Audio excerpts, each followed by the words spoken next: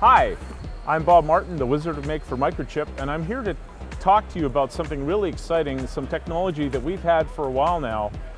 When you're developing Arduino sketches, a part of the problem is debugging.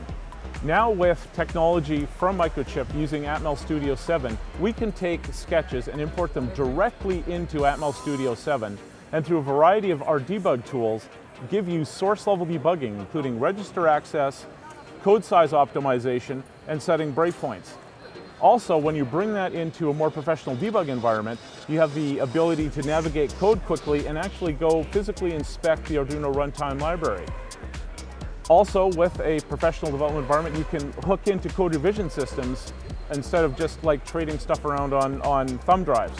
So here on my system that I've been developing, you can see that I have have the Atmel ICE, which is a universal programming and debug tool for all the AVR and SAM-based microcontroller units plugged directly into an Arduino Pro.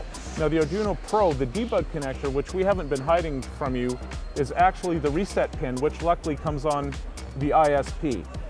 Don't use serial print line anymore for debugging Arduino projects or libraries. Bring it into Atmel Studio and realize the power of a professional development environment to help you optimize your code for performance and size and catch those nagging little bugs that you just can't find.